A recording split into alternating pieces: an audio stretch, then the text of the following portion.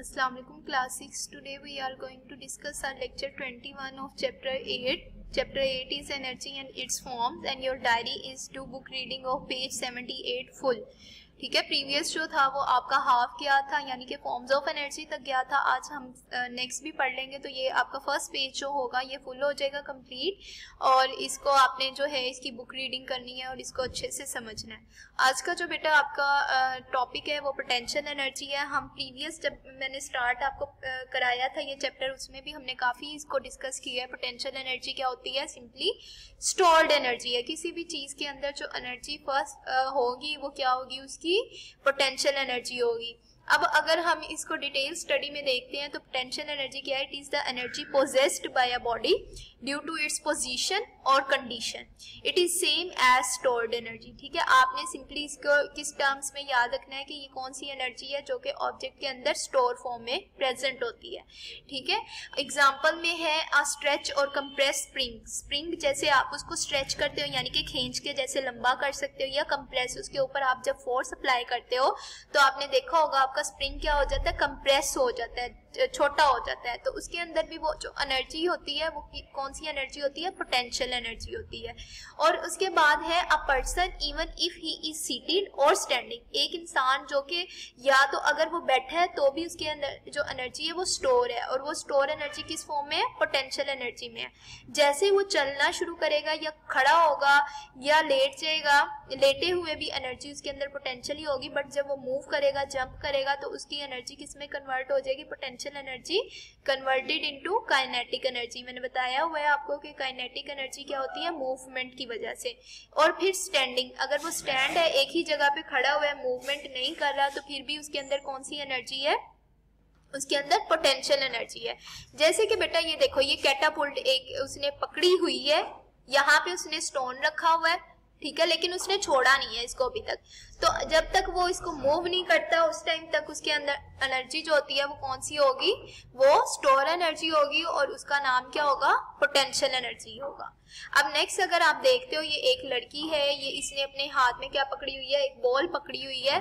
तो जब तक ये उसको लेकर खड़ी है स्टैंडिंग पोजीशन में है, उस टाइम तक ये एनर्जी इसके पास जो है, ये स्टोर्ड है स्टोर फॉर्म में है और इसका नेम क्या होगा? पोटेंशियल एनर्जी होगा।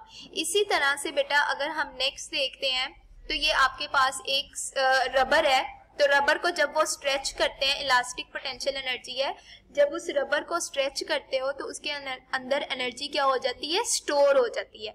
तो उस एनर्जी को हम क्या कहते हैं? पोटेंशियल एनर्जी जैसे ही आप रबर को छोड़ोगे तो ये मूव करेगा तो फिर वो पोटेंशियल एनर्जी नहीं होगी, बल्कि वो क्या हो जाएगी? काइनेटिक एनर्जी हो जाएगी। इसी तरह से इसको अगर हम देखते हैं इस एग्ज़ाम्पल को तो इसने अपना एरो जो है, अभी फिक्स किया हुआ है। अभी उसको मूव नहीं किया, छोड़ा नहीं तो जब तक वो उसने इसको पीछे खींचा है तो इसके एरो में कौन सी एनर्जी स्टोर होगी? पोटेंशियल एनर्जी ठीक है बेटा? तो ये आपकी पोटेंशियल एनर्जी थी सिंपली उसके बाद अगर हम इसको बुक से पढ़ते हैं तो open your book page number 78 आपने पोटेंशियल एनर्जी को पढ़ना शुरू करना है तो यहाँ से है potential energy is energy that is stored in an object due to change in its position एक तो उसकी क्या चेंज हुई? पोजिशन भी चेंज हुई, और it is written as P dot E dot और आपने हमेशा इसको बेटा कैसे लिखना है? पी भी कैपिटल लिखना है, और ई e भी आपका जो है अल्फ़ाबेट कैपिटल होना चाहिए स्मॉल कभी भी नहीं लिखोगे और डॉट भी आप सेंटर में भी लगाओगे और ई e के बाद भी लगाएँगे। When we stretch a rubber यानी जब आपने किसी रबर को ये सामने आपके स्ट्रेचिंग uh, पोजीशन में एक रबर बैंड भी दिखाया गया है और लिफ्ट अ स्टोन या आपने कोई भी पत्थर अपने हाथ में उठाया टू सम हाइट थोड़ा सा ऊँचा उठा लिया energy is stored in these object तो उसमें क्या स्टोर होगी? एनर्जी स्टोर होगी। This energy is called potential energy और उस एनर्जी का नेम क्या होता है? Potential energy a brick on the ground can not do any work अगर आपकी जो है, एक ब्रिक किसको कहते हो? ईंट को कहते हो। ग्राउंड पे पड़ी हुई है। तो क्या वो कोई काम कर रही है? नहीं करी वो अपनी ही जगह पर वहीं पे स्टेबल है।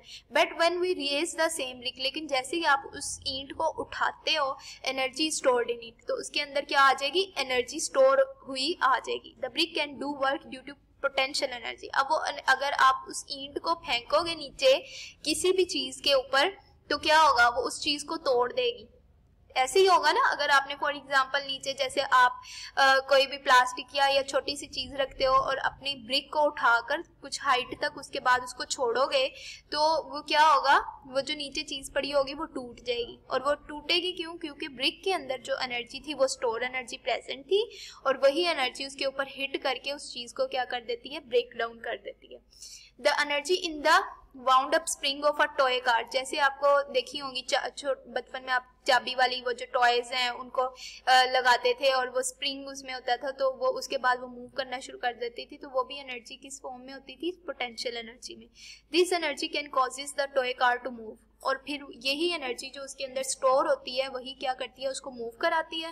और जैसे ही उसकी एनर्जी खत्म हो जाती है, वो आपकी टोए कार जो होती है, वो रुक जाती है। अगेन आपको क्या करना पड़ता है, उसकी की जो है, वो फुल उसको स्प्रिंग को जो है, वो वाउंड अप करना पड़ता है और फिर वो मूव करती है। नेक्स्ट है when we put a stone in the sling of a catapult ये जो आपके सामने कैटापुल्ट है, इसकी ये स्लिंग होती है, और इसके अंदर आप अगर स्टोन फिक्स करते हो, उसको अभी मूव नहीं कर रहे, सिर्फ़ आपने उसको स्ट्रेच किया तो इसमें भी कौन सी एनर्जी स्टोर हो गई?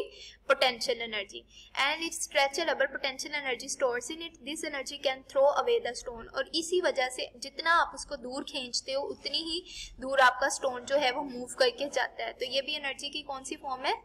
आपकी पोटेंशियल एनर्जी की। The hands of a mechanical watch move due to the potential energy stored in its spring ठीक है? तो ये आपकी जो वॉच चल रही है, इसके अंदर आपके जो हैंड्स होते हैं, आपको पता है ना, सुइया, सुइयों को हैंड्स कहते हैं, जो उसमें मिनट्स की और आवर्स की चल रही होती हैं तो वो भी किस वजह से चल रही है? उसके अंदर पोटेंशियल एनर्जी स्टोर्ड हुई होती है। There are several different forms of potential energy इसके अलावा भी बहुत सारी आपकी जो है, वो पोटेंशियल एनर्जी की फॉर्म्स होती हैं, जो कि आपने ऊपर जो है एग्ज़ाम्पल पढ़ी। तो सिंपली बेटा, आज की जो आपकी डायरी थी, वो भी ये थी कि बुक रीडिंग आपने करनी है पेज 78 की फुल पोटेंशियल एनर्जी को आपने अच्छे से पढ़ना है जो जो एग्जाम्पल्स कोट की गई हैं, इनको आपने अपने माइंड में रखना है, क्योंकि ये आपका ऑब्जेक्टिव पूछा जा सकता है, ठीक है? अल्लाह हाफिज़।